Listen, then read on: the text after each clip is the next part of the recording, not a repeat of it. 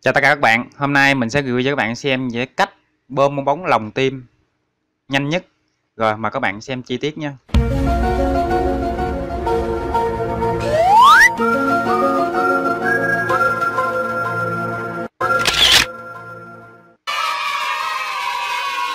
Thì à, đầu tiên mình sẽ xin nói về cái quy trình đóng gói của cái sản phẩm này nha các bạn thì à, đối với bóng lồng tim á, thì nó chia ra thành hai loại. Một đó là loại bong bóng trong 40 ly và hai là loại bong bóng trong bóng tim 30 ly à, thì bong bóng này á, mỗi một bịch nó đóng gói thường thường là một bịch đóng gói là 500 cái nha các bạn. Một bọc là 500 cái. Rồi. Thì à, cái cách à, vô bóng lồng tim này các bạn. Thì à, bong bóng lồng tim á, thì các bạn nghĩ rằng á, là lồng tức là có một cái trái tim nó lồng ở bên trong nữa cái đây là cái trái tim bé này. Tim này là thường gọi là tim 30 ly các bạn. Mà thường thường các bạn đến những cửa hàng đồ chơi thì các bạn thường hỏi là tim bé tim 30 ly người ta không biết đâu nhưng mà các bạn có thể gọi tên là tim bé hoặc là tim nhỏ thì những cửa hàng người ta biết. Và kèm theo nó là một con bóng trong. Bóng trong nó là con bóng 40 ly 40 ly tức là con bóng tròn các bạn. Bóng tròn kích cỡ nó khoảng 40 40 ly á. Thì cái sản phẩm này nó có hai loại. Một là nó in cái hình chữ I love you như các bạn. Còn hai là ngày trước thường bán á, là nó in theo cái đó hoa hồng. Và nó có chữ cái I love you nằm ở dưới. Thì những các bạn nào mà buôn bán lâu thì các bạn sẽ biết. Rồi um, cách tiếp, tiếp theo là mình sẽ hướng dẫn cho các bạn cái cách mà vô bóng lòng tim. Thì đã nói bóng lòng tim thì bắt buộc là sẽ có bóng trái tim nó lòng ở bên trong bóng bóng lớn các bạn. Thì ở đây các bạn phải chuẩn bị cho mình một cái dít nếu các bạn không có cái dít á, thì các bạn có thể chuẩn bị cho mình một cái cây mà nó nhỏ nhỏ để sọt vô bóng bóng nhỏ các bạn xem mình đó rồi các bạn lấy thì cái bong bóng nhỏ các bạn chọt vô cái bong bóng lớn thì nó sẽ rất là nhanh cho các bạn khi các bạn đi buôn bán chứ ở ngoài thị trường thì không ai mà vô sẵn bóng cho các bạn đâu đây mình sẽ làm lại một cái nữa cho các bạn xem chi tiết ha để các bạn có gặp sản phẩm này thì các bạn có thể làm được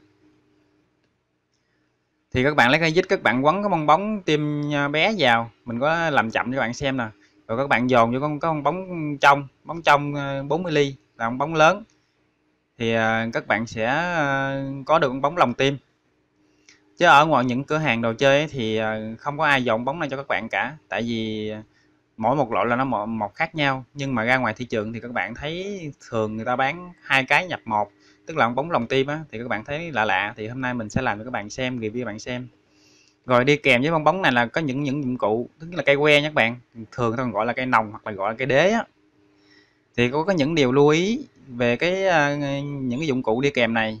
Thì à, cái cái dụng cụ này á, thì một bịch nó là 100 cây.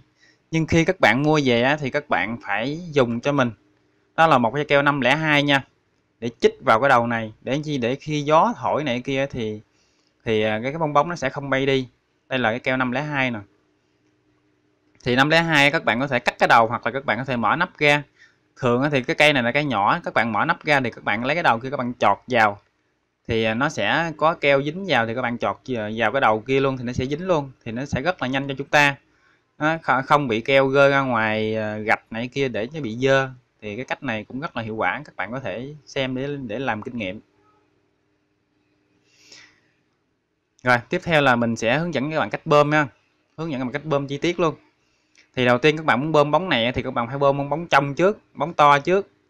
Rồi các bạn mới bơm tiếp là một bóng tim bé bên trong nha các bạn. Thì các bạn bơm vừa hơi thôi, vừa hơi thôi. Các bóng bóng ở ngoài có thể các bạn bơm mềm, còn bơm bóng nhỏ, sau đó các bạn có thể bơm bóng lớn thêm một lần nữa. Đây, các bạn xem lại lần thứ hai mình bơm ha. Cái dụng cụ bơm này đó là con cốc nha các bạn, con cốc đạp á. Thì à, có nhiều cách để bơm, có thể là bơm bằng cốc tay bơm cấp điện điện, bằng điện các bạn. Nhưng mà ở đây mình bơm là nhanh nhất là con cốc con cốc đạp. Tại vì cốc đạp nó rất là nhanh. Tùy theo các bạn thôi. Rồi, cái cách vô nòng bóng nè. Các bạn nhìn kỹ với mình cách vô nè. Tại vì trên nòng bóng nó sẽ có cái que các bạn. Có cái lỗ thì các bạn quấn qua hai vòng, các bạn móc lên. Là nó sẽ thành được con bóng không cần phải cuộn kỹ thun. Các bạn à, nhìn kỹ ha, mình có làm chậm các bạn xem á, để chi tiết ha rồi, cảm ơn các bạn đã xem video nha. Xin chào và hẹn gặp lại các bạn trong một cái video tiếp theo ha. Xin cảm ơn rất nhiều.